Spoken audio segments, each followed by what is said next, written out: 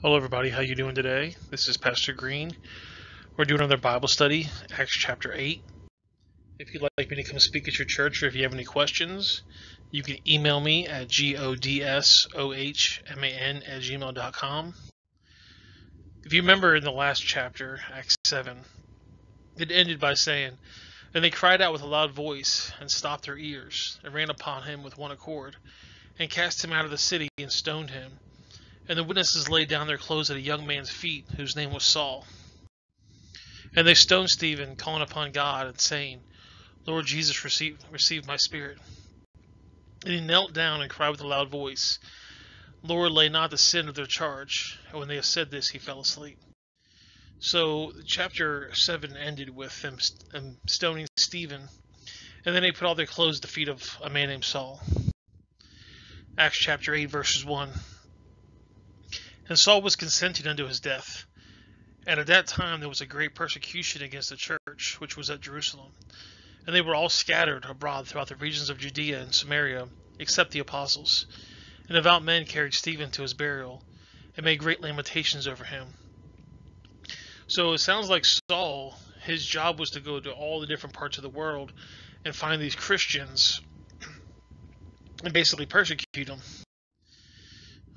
And it says, As for Saul, he made havoc of the church, entering into every house, and hailing men and women, committing them to prison. Therefore, when they were scattered abroad, went everyone preaching the world. When Philip went down to the city of Samaria and preached Christ unto them. If you remember in Mark 16, it says, Jesus is saying, And he said unto them, Go ye to all the world, and preach the gospel to every creature. And then back in Acts 1, verse 8, it says, For ye shall receive power after that the Holy Ghost come upon you, and ye shall be witnesses unto me in Jerusalem, and all Judea and Samaria, and to the uttermost parts of the earth. So Jesus told his disciples, you know, you need to preach the gospel everywhere. And as we can see now in Acts 8, the, this, this guy Saul's going to all the parts of the world to find Christians so he could persecute them and put them in prison. You know, Noah's three sons dispersed from the ark about 2400 uh, BC. You can see the red area is Japheth, the orange area is Ham, and then the white area is Shem. And they, they went across the world because they had to scatter to get away from each other so they can basically spread people of the world. And then 400 years later, God promised the land to Abraham and his seed. And so far, they've only ever produced a tiny blue area, which is about 8,500 square miles. So the whole area in red there is what God promised the Jews, and they've only actually so far got the blue area. So there's the blue area right there, and there's a red area.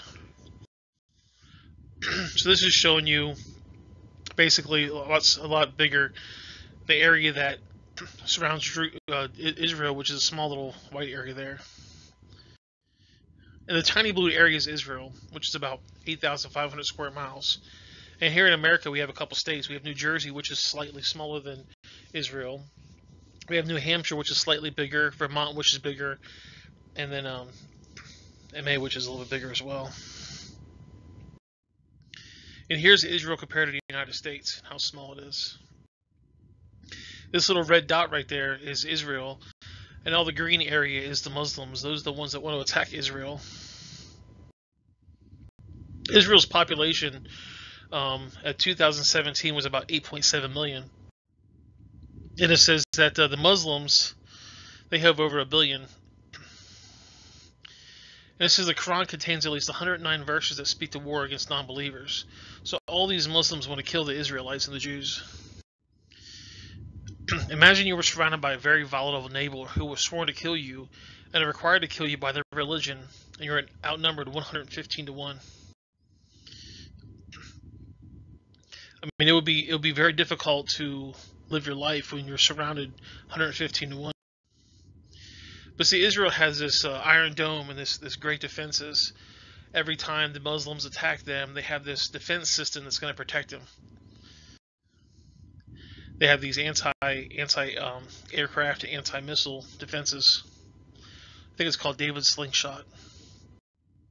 And this is a, a, a, item called trophy, and what this trophy does is it detects class, uh, and classifies incoming threats.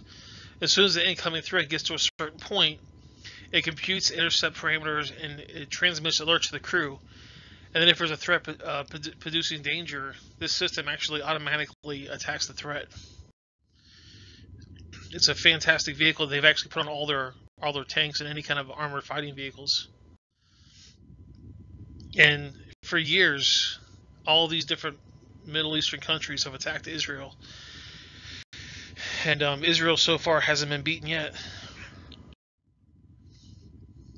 And uh, 400 years later, the children of Abraham numbered about 2 million and 12 tribes. They came out of Egypt and they divided them up like this. You can see the 12 tribes right here and the different area that they possessed. And after 350 years of judges ruling the people, it was united under King Saul, King David, and King Solomon. And then King Solomon's uh, son Rehoboam, he was an idiot, and he divided the city, they divided the kingdom into two separate areas, and caused civil war between the two of them. You had northern Israel and southern Israel. Uh, about right around 221 BC, the northern tribes were taken captive into Assyria, and around 606 BC, the lower tribes were taken into Babylon. So you can see right here, uh, 2021, the uh, northern tribes were taken into captivity into Assyria, and they replaced the folks from Assyria that Assyria don't want. And these intermarried with the Jews and the half-breeds are called the Samaritans. So you can see up here the Samaria and right, right north of Judea. And even still to this day, um, well, not really to this day, but as Jesus' time, people didn't like the Samaritans. In the time of Christ, the Samaritans are, were considered unclean to the Jews because they were half-breeds, they were half Assyrians, and they were half Jews. And you can see right here, the uh, the dark orange area is the area that was Christian right around 325 AD, and then the more tan area is the area that was Christian about 600 AD, and the red lines just show you the spread of Christianity. Acts 8 verses 6. The people with one accord gave heed unto those things which Philip spoke, hearing and seeing the miracles of which he did. For unclean spirits, carrying, crying with a loud voice, came out many who were possessed with them, and taken them to the palsies, and were lame, and were healed. And there was great rejoicing in that city. But there was a certain man called Simeon, which before time the same city was sorcery, and bewitched the people of Samaria, giving out himself was a great one. To whom they all gave heed, from the least to the greatest, saying, This man has a great power of God. And to him they laid regarded because to him they had regard because of the long time he had bewitched them with sorcery. When they believed Philip preaching these things concerning the kingdom of God in the name of Jesus Christ, they were baptized, both men and women. And Simeon himself believed also, and when he was baptized, he continued with Philip, and wondered, beholding the miracles and signs which were done. Now when the apostles were at Jerusalem, heard that Samaria had received the word of God, they sent up to them Peter and John, who, when they come down, prayed for them, that they might receive the Holy Ghost. For as yet he was fallen upon none of them, only they were baptized by the name of the Lord Jesus Christ. And they laid their hands on them, and they received the Holy Ghost. And when Simeon saw that, saw that laying the hands of the apostles' hands of the Holy Ghost was given, he offered them money, saying, Give me also this power, that whomsoever I lay hands on may receive the power of the Holy Ghost. But Peter said unto him, Thy money perish with thee, because thou hast thought that the gift of God may be purchased with money. Thou hast neither part nor, nor lot of this matter, for your heart is not right in the sight of God. Repent therefore of this wickedness, and pray to God, and perhaps the thought of that heart may be given thee. For I perceive that thou art gall of bitterness in the bond of iniquity. Yet he answered Simeon and said, Pray unto ye, Lord God, for me, that none of these things which have spoken come upon me. And they which were testified and preached of the Lord, word of the Lord, returned to Jerusalem, preaching the gospel of many villages of the Samaritans.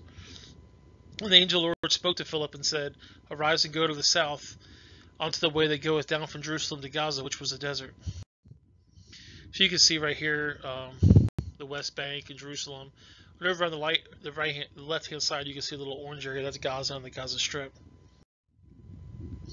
And he arose and went, and behold, a man of, of Ethiopia, a eunuch of great authority under uh, Candace, queen of the Ethiopians, who had charged all of their treasures and come to Jerusalem for the worship, was returning and sitting upon his chariot, and Esaias the prophet, which is Elias, which is uh, Elijah. And the Spirit said unto Philip, Go near and join themselves in the chariot. And Philip ran thither to him, and heard him reading the prophets Elias, and said, Understandeth thee what you thou readest? He's basically asking the, the eunuch, You understand what you're reading? And then he said, How can I accept some man should guide me? And he desired Philip that he would come and sit with him. In place of the scripture which he read was, He led, he led as a ship to the slaughter, and like a lamb dumb before his shears, he opened not his mouth. And his humiliation and his judgment was taken away. And whom shall declare this generation? For his life is taken from the earth. And the eunuch asked Philip and said, I pray thee, of whom speaketh the prophet of this, of himself or from another man? Then Philip opened his mouth and began the same scripture, and preached him unto Jesus. And they went their way, and came to a certain water. And the eunuch said, See, here is water. What does thou hinder me to be baptized? And Philip said, If thou believest with all thine heart, thou may. And he answered and said, I believe that Jesus Christ is the Son of God. And he commanded the chariot to stand still, and they went down both to the water, and Philip and the eunuchs, and he baptized him. Now it's really interesting. This is the King James Version. But verse 37 that says, If thou believest with thy heart, thou mayest. And he answered and said, I believe that Jesus Christ is the Son of God. That verse is actually missing from many, many Bibles. If you look here at Acts 8, this is a NIV, you've got um, 36 and 38. Uh, right next to 38, there's a little D there. Uh, and basically, if you look, it says, And they traveled along the road and came to some water. The eunuch said, Look, here's water. What can stand in the way of me being baptized? And he gave orders to stop the chariot. Both Philip and the eunuch went down to the water, and Philip baptized them. Or they're skipping the whole 37 part. Uh, Acts 36 to 38 in the God's Word translation. If you look next to 38, there's a little A there.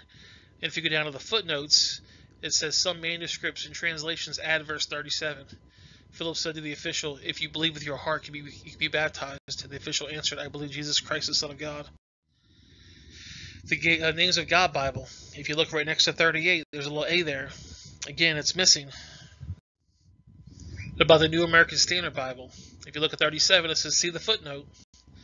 And it says, um, the insert of verse 37, basically saying they're missing it. This is when Philip said, If you believe with your heart, you may. And he answered and said, I believe that Jesus Christ is the Son of God.